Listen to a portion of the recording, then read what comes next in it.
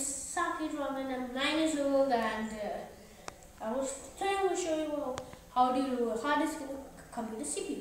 Okay? Previously I did I removed one hard disk and uh, this is the hard disk which I removed. Yeah? This is the place where the memory is stored. That's the front. Yeah.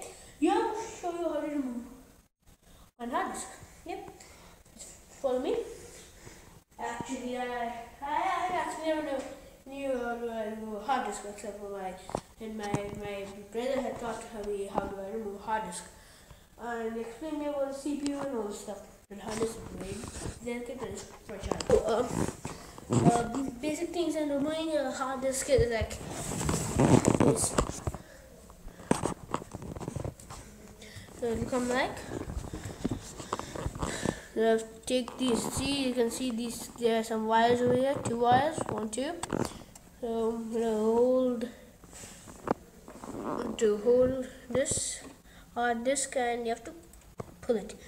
Don't need to be afraid of anything. It'll just come out. And remember guys, the computer should be off at this stage, okay? how is it get a shock. Switch the main switch also.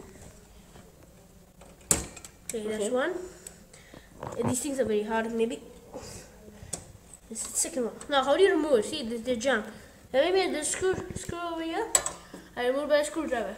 Yep. Screw hey so turn around. And this is the screw. Remove my screwdriver just simple mechanic.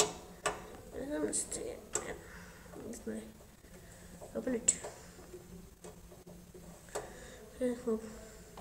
That's a little bit Okay, then I just got some of it. Okay. Um, and that's it. Come on. Yep, that's that's the hard disk. Okay, see it's a bit dusty. Um, for it. Let's take it away from the CPU. Okay. And just gently clean it. Only the top part, otherwise, but the front part, the down part, uh, memory will get disturbed. This is the hard disk. You must be bad. Um, please take some time to subscribe and like my video.